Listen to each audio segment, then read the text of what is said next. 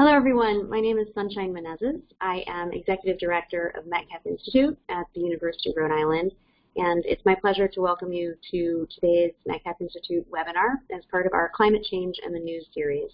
This series intends um, to look at issues of climate change science, um, how we are adapting to, or planning for, responding to climate change, um, what are some of the ways that we can communicate effectively and ineffectively about climate change.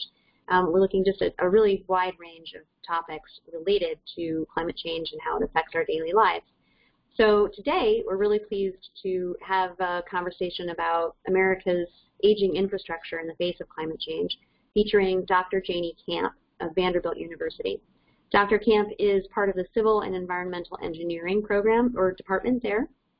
She uses tools such as GIS mapping to address our challenges related to infrastructure and transform the results and um, into information and tools that can help inform the public and decision makers.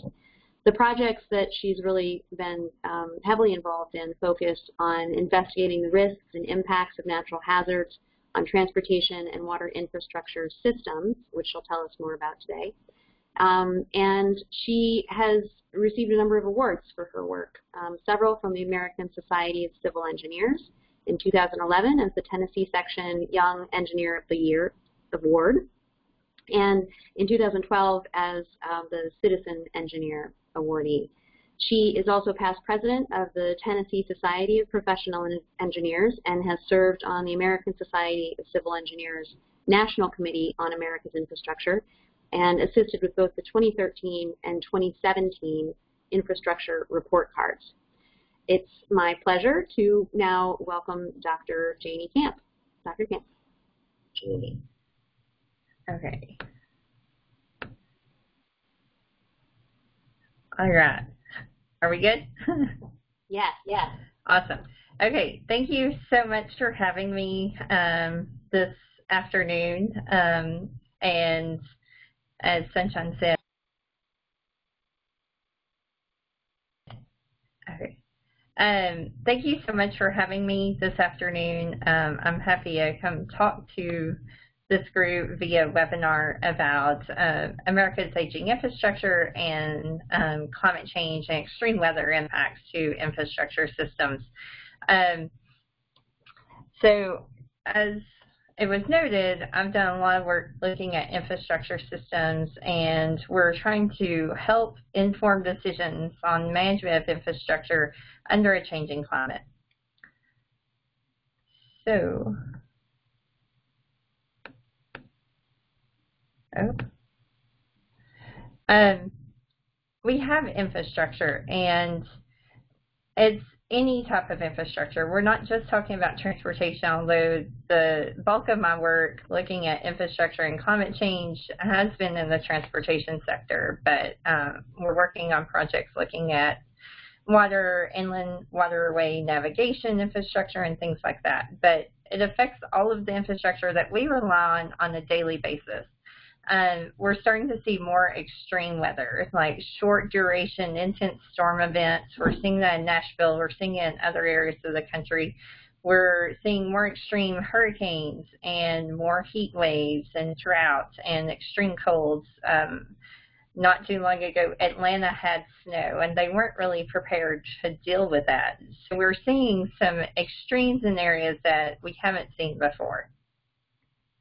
But what does this mean? Well, it means additional costs for operations and maintenance and repairs and recovery. And ultimately, our goal is to help inform decisions so that maybe instead of having to, you know, invest retroactively to repair infrastructure, if we can make investments on the front end to um, create infrastructure that is adaptable or able to withstand um, these extreme events, then maybe we won't have to pay for it in the aftermath and we hopefully won't see as many disruptions to our daily lives um, as we move forward. So let's talk about infrastructure for a minute. We use infrastructure every day and I really like the um, graphic that is on the right of the screen produced by the American Society of Civil Engineers. Um, how much infrastructure do you use before noon? A lot of us think about the roadways. We see potholes, we see bridges, uh, we see pavement that may be rutting, and those are, you know, things that are kind of at the forefront. But in the aftermath of Flint, Michigan, and other issues related to water infrastructure, that's raised some attention. But a lot of times the infrastructure we use, we don't even think about. And often it's out of sight, out of mind. We've grown accustomed to using infrastructure that was put in many years ago, and we're essentially borrowing things that previous generations invested in. The infrastructure that we're using is reaching retirement age for the bulk of it. And we need to start thinking about how do we utilize this? How do we ensure that it lasts for more generations? Not just new infrastructure that we're building, but also infrastructure that already exists, that we're repairing post-event um, when we do have disruptive events and things like that. The American Society of Civil Engineers does an infrastructure report card every four years, and the most recent one came out in spring of 2017 where America's infrastructure received a grade of a D+. Um, I have children and in my book a D is not great. And I think if you talk to any engineer they would agree we've got to do better. And it's not that our infrastructure is failing, it's just we're lacking in capacity, funding, and you know policies to help manage that. There's been um, some increases in grades um, from the 2013 report card to the 2017 report card. But overall, the grades aren't good. There's not a single category of the 16 categories that has above a B. And we can improve that, especially looking to the future when we take into consideration that climate change is just going to add additional wear and tear to this infrastructure that we depend on.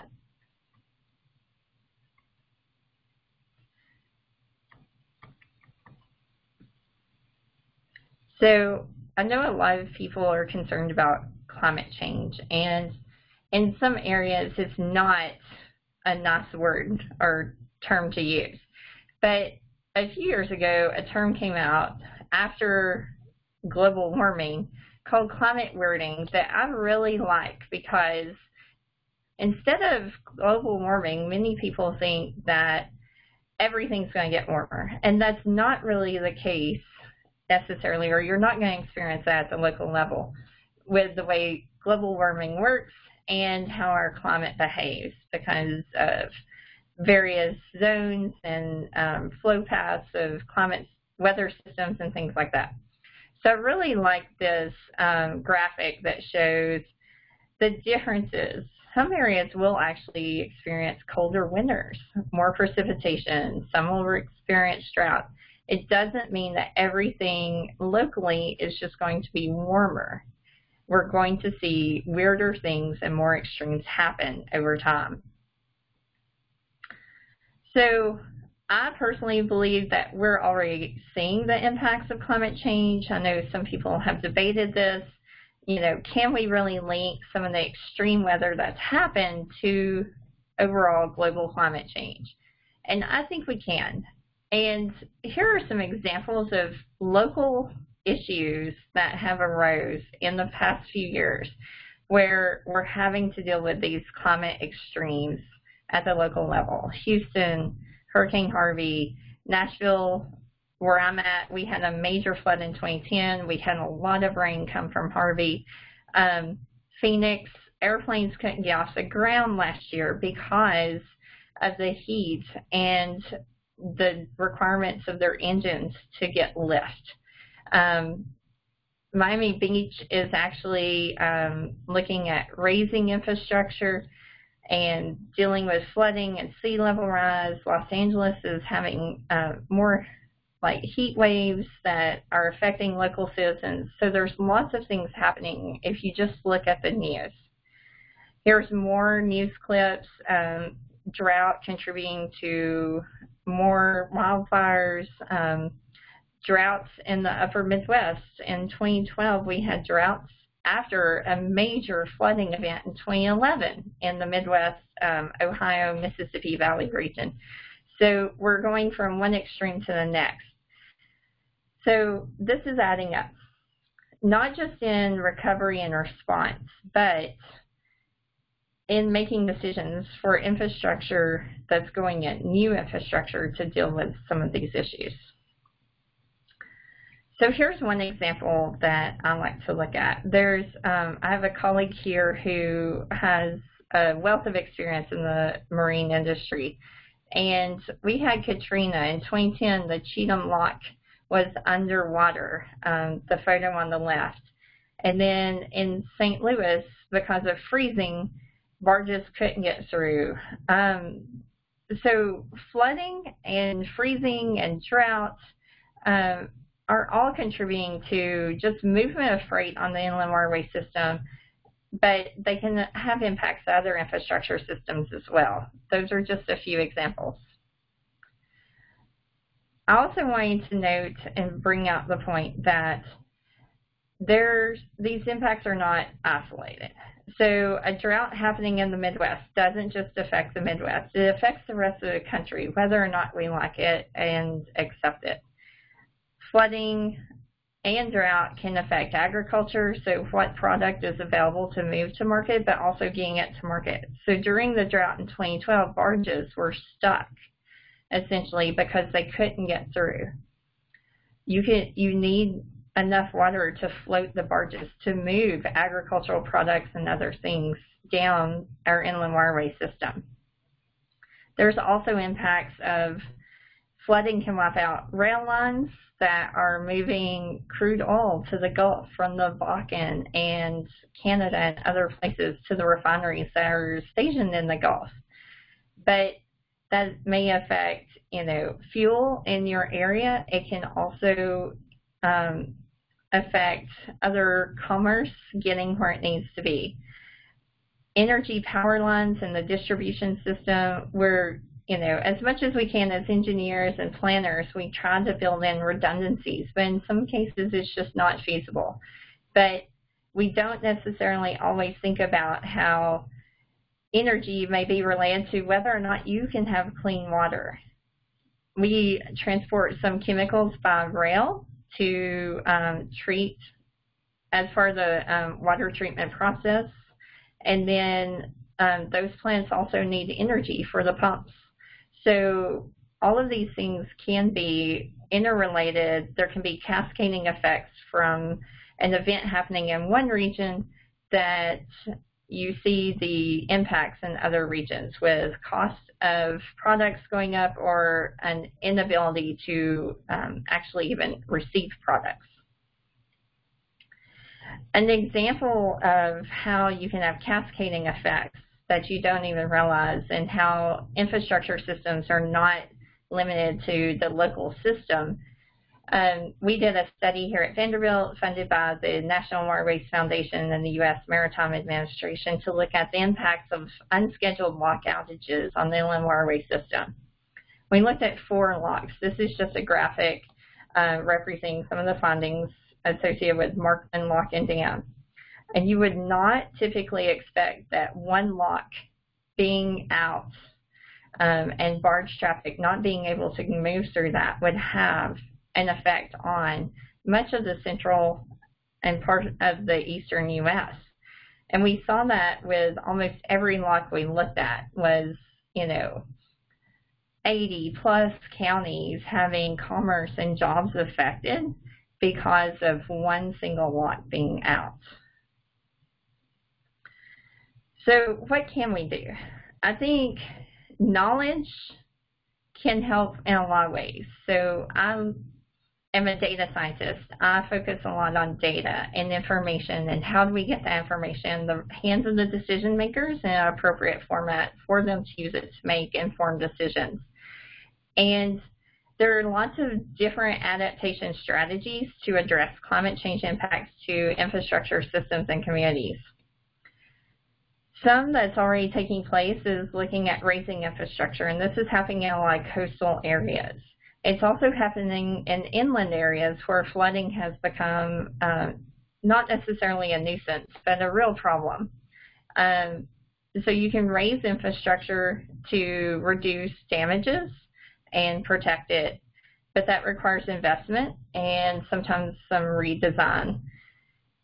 We can also look at new infrastructure and trying to um, raise that as we're building to plan for the future. We shouldn't be designing and building infrastructure assuming that everything's going to be as it has been for the past decade or more.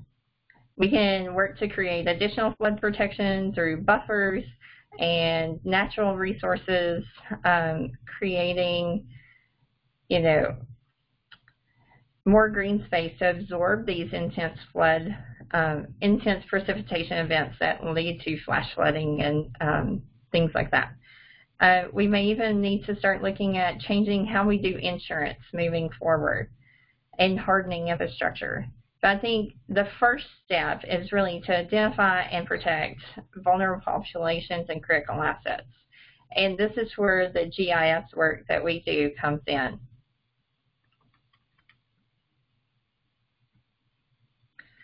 There's national level efforts to build resilience. And so depending on who you speak with, they may have different definitions for resilience. But I think resilience is an ability to um, withstand an event and bounce back quickly, possibly better than you were, but not necessarily.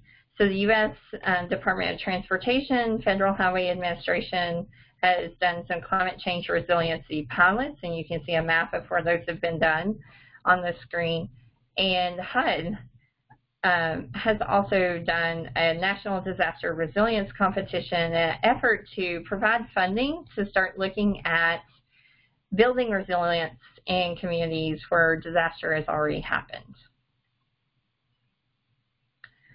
There are tools that are available to help do this. So community managers, planners, engineers, or even citizens that are interested in getting involved and helping out can start utilizing these tools that are publicly available and free. Um, I will say with a caveat, like FEMA's HAZUS um, does require some GIS knowledge and an ArcGIS license from Esri. But for the most part, these are free and publicly available to help you in defining what the risks are to infrastructure, identify vulnerable infrastructure systems, and walk through processes such as the steps to resilience um, on the screen from the U.S. Climate Resilience Toolkit. And NOAA's Digital Coast provides an interesting approach to visualizing how sea level rise may look and impact infrastructure in coastal areas.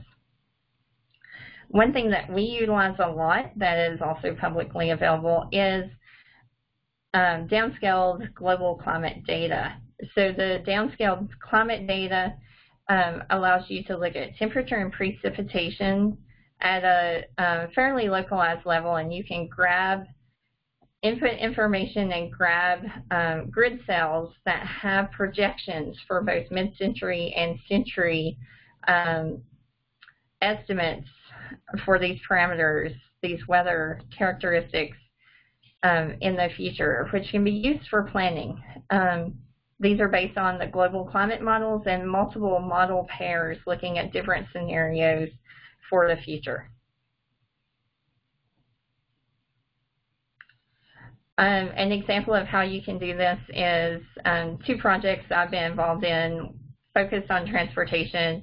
One was a project um, for the Tennessee Department of Transportation. This was part of their pilot study from Federal Highways to look at climate change. And we can look at, you know, at very localized county level, even beyond, um, what the probability of exceeding certain precipitation would be, what the changes in precipitation may be in the future, or heat, and identify local transportation assets in that region that we can do a drill down and identify, you know, what the potential impacts of that could be and do additional engineering analysis as to what adaptation strategies are viable and how much they would cost and things like that. Um, you can do higher level, national level screening analysis using climate data as well to identify hot spots or regions where precipitation or temperature may impact um, infrastructure systems. This is looking at freight systems, hotspots, um, looking at precipitation in the future. But ultimately, I think um, it's one thing to have information and tools to generate, you know, knowledgeable information to inform decisions. But I think we need to have more of a holistic approach as well. So communities can work together to cre create resilience. Um, something we saw in 2010 in Nashville was that um, the community really came together and responded well, and that's something we need to be prepared for as um, individuals is knowing how we can contribute to response and recovery efforts locally so that the impacts are not as bad, especially for those socially um, vulnerable populations. There's also an opportunity for sectors to work together. As I said, the impacts are not localized necessarily. There are um, trickle-down effects and connections that need to be considered. So working together to plan across sectors can be beneficial. An example is the um, waterway action plans that are in place for many of the inland waterway systems where the operators come together and identify under extreme conditions, high and low flow, how they're going to set the rules for the waterway to ensure that freight can still move through, but that safety is ultimately preserved. And these things can be modeled to help inform decision making. Um, we can also work to help educate everyone in our community about the potential risk and hazards associated with climate change and extreme weather and how to be prepared.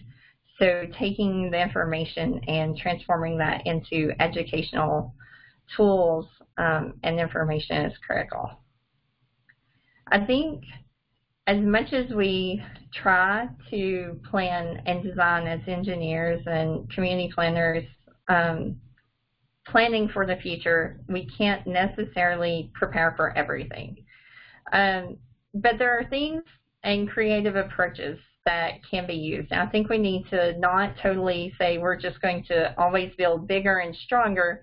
I think we need to be open to things like graceful failure. So in Cairo, um, Illinois, back in 2011, the Corps of Engineers actually broke the levee and um, opened the Birds Point floodway as a way to reduce flood impacts downstream.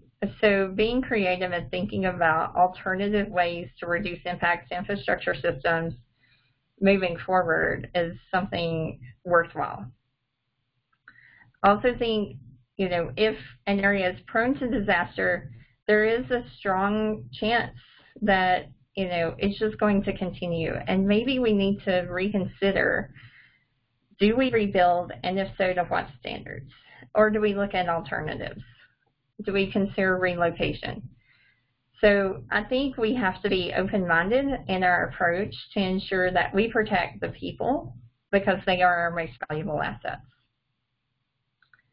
And with that, I will, would like to leave you with this quote um, that a colleague, uh, Julie Shortridge at Virginia Tech, summarized, but I think it captures a lot of what we're trying to do and um, looking to the future. We ultimately want to protect the people and our infrastructure that serves the people moving forward. With that, I will turn it back over and take questions.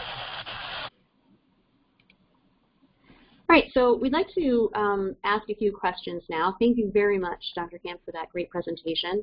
Um, I, will remind everybody that you can submit questions either via the, the chat function um, uh, on the webinar service, or you can um, send in questions via Twitter using the hashtag MetcalfCC as in climate change. So the first question we have today is um, regarding the infrastructure report card specifically, and it appears that some of the grades have actually gone up. So what caused that? Yes, so um, those are our success stories, I guess. Um, so a part of the consideration is investment and capacity innovation um, and you know planning for the future. So when funding has been allocated in an area, the grade can go up. If there's funding, you know, federal funding allocated or authorized and actually put into place to improve things. A good case in point is um, FAST Act and funding related to U.S. Department of Transportation infrastructure investment. Um, rail has gone up because of private investment. Our rail infrastructure is privately managed, and the rail companies are actually looking to the future, planning and investing to protect and improve that system. So we can learn lessons on the public side from those private investments and the benefits seen from those. Great, thank you. You also mentioned several publicly available tools for adaptation planning and building resilience. But are these tools that anyone can use? Do you need to have special expertise? Do you need to have special equipment? Um, are, are they really available for community use? They're fairly easily accessible and easy to use. Most of them have guidelines available and instructions. I've had undergraduate students um, even since they're not engineering students, tap into these resources and use them on projects to look at infrastructure and community resilience. Um, so I think the general public, if they are aware that they exist, can absolutely get in there and start using those tools to know more about what's going on and how they can make informed decisions, even about their own property. And finally, um, another question is, you presented examples to us from the transportation sector, but what about the water sector?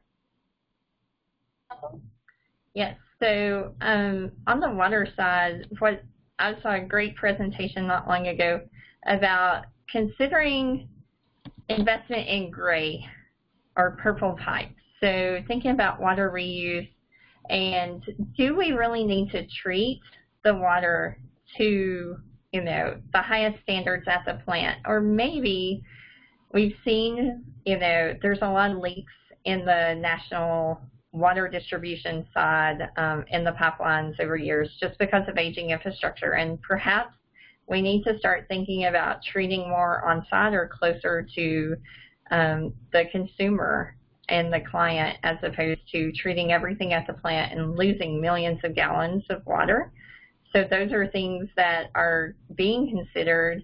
A lot of um, places are starting to put um, liners in their pipes to help reduce the um, leakages and ensure that all of the water being treated at the plant, it, as much as possible, is actually making it to the customer. And those are some innovative ways to try to address some of the infrastructure aging issues um, and also create some system resilience. So what would it cost, you know, ballpark, um, if we really were to tackle these infrastructure problems nationally? Billions, unfortunately. But if you start looking at, you know, federal budgets, a few billion doesn't really make a big difference in the you know large federal budget. And in all honesty, there's some great studies that um, ASE commissioned an economic firm to do a few years ago, and it was um, they were economic studies about the cost to individual home for investment, and we're looking at at the individual basis a few hundred dollars a year could make a wealth of difference in the broader system in your local community um, infrastructure. So, you know, a little bit added to the gas tax to fund highway investment or additional, you know, a few cents more in your actual water fees to help with the infrastructure at the local level, which helps the overall grade nationally. Um, I don't think we'd miss it. A lot of people equate the personal investment being, you know, a cup of coffee a day. If we could give that up, then we would see great changes in our infrastructure. and how it performs. A couple more questions. You also mentioned something about increasing um, or, or changing the, the way that insurance covers these various challenges that we face. I know this is not your area of expertise, but is there anything in your opinion that you would like to share in terms of what you think those changes might be?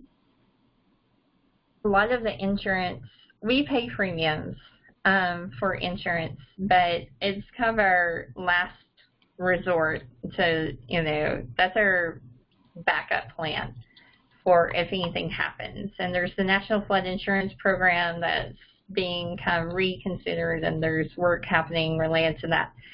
But I think moving forward, a lot of people, especially in the flood area, people are required to have flood insurance if they're in certain zones related to 100-year flood events. But we're starting to see those events happen more frequently. So perhaps we need to be looking more at you know, encouraging citizens to go beyond and gain coverage above and beyond what is required um, so that they're prepared and have that safety net when, you know, you do get the 500-year flood event. And I think there are things that, uh, similar to that, related to other natural hazards that we could consider.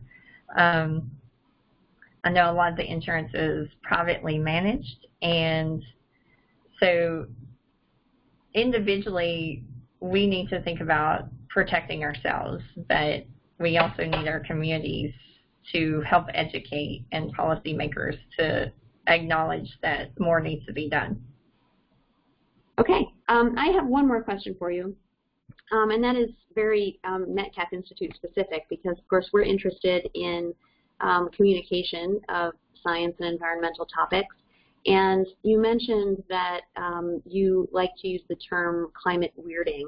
So I wonder, um, in your experience working especially with other engineers and with um, municipal officials, if you have found that that language is especially um, helpful or if um, you know there are other ways of talking about these climate change challenges that have been very effective. Yeah, so um, at least on some of our projects, the more acceptable term in place of climate change has been extreme weather and talking about extreme weather. And I think the hard part with discussing climate change with anyone, even myself as an engineer, talking about probability of occurrence of you know, and what two degrees Celsius really means on a global scale and how that might be felt locally, those are hard concepts to grasp. Um, and the timelines of talking about mid-century and in 2100, what you know our world might look like in terms of climate, I think those are just really almost abstract concepts that are hard to grasp. But if I when I talk to community members um, I like to talk to them about, you know, we've seen a lot more intense flooding. Have you noticed some of these precipitation events and, you know, how you're how they affected your and things like that. But I also think discussing, you know, I want to think about what the world will be like for my children and my grandchildren and help them prepare for the future. So if we think about it not so much as mid-century and 2100, but generationally, I think that's a way to communicate because you love your kids if you have kids and or you have family that are younger, thinking about what the next generation is going to have to deal with. Mm-hmm. Um, I think can help and painting a picture in terms of scenarios and what we've seen recently can help with that. Okay. Thank you so much, Dr. Camp. It was really a pleasure to have you. And thanks to all of you for joining us today. I hope you will come visit us another time when we have a future webinar. And um, you can see this, this video on our Metcalf YouTube channel or on our website. Um, when you visit our YouTube channel, which is just search for Metcalf Institute, you'll find hundreds of videos um, featuring all kinds of science and environmental topics and um, people from all over the nation talking about these issues. We'd love to hear your feedback. Um, also, note that at the very end of this presentation, there's a link to a survey. You can take that survey to let us know any, um, any topics that you would like to hear about so that we can plan for them in the future. Thank you. Hi.